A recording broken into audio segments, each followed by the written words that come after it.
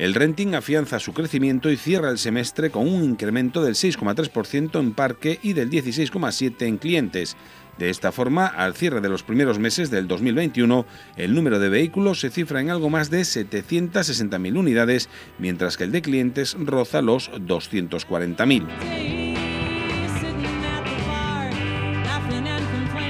Los autónomos y particulares se posicionan como los principales motores del sector, ya que alcanzan un peso en el parque de renting del 16,2%, que contrasta con el 13,6% que tenían en el primer semestre del 2020.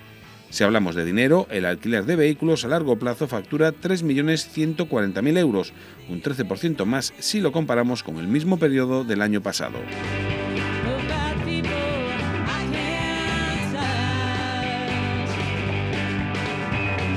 Con estas cifras, el renting acapara el 25,4% del peso total del mercado, mientras que en 2020 era el 21%. Las energías alternativas, eléctricos, híbridos, gas e hidrógeno suponen casi el 25,5% del mercado de renting, frente al casi 17% registrado de enero a junio del año anterior.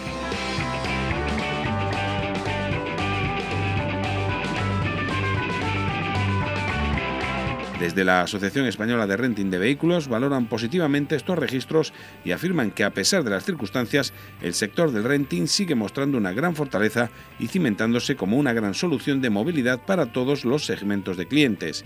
En este sentido, señalan que hay que poner en valor los grandes esfuerzos que se están haciendo desde las compañías de renting y desde las empresas colaboradoras para adaptar sus procesos a este portfolio de clientes cada vez más atomizado.